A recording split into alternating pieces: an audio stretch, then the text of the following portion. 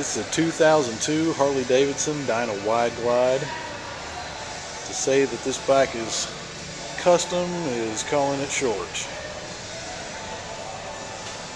Front to back, everything has been done on this bike.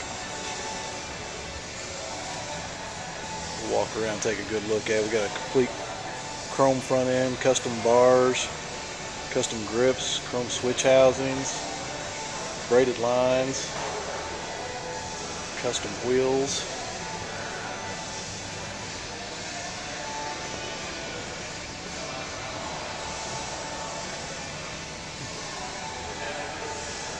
Burt Ballow airbrushing and paint on the tank.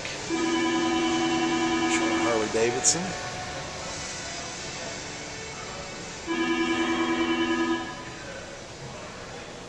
Close look at this paint. It is absolutely stunning.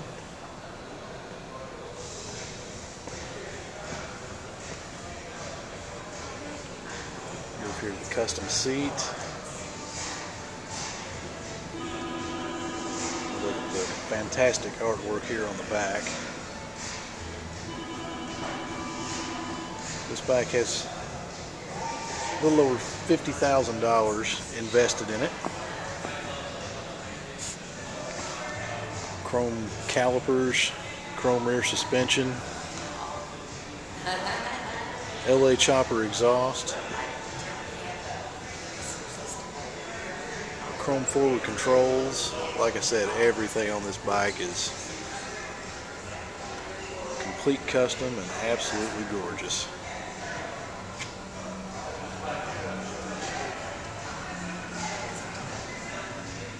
This bike can be seen in person at Wildcat Harley Davidson here in London, Kentucky. Feel free to inquire about this bike at any of our Smoky Mountain Harley Davidson family of dealerships.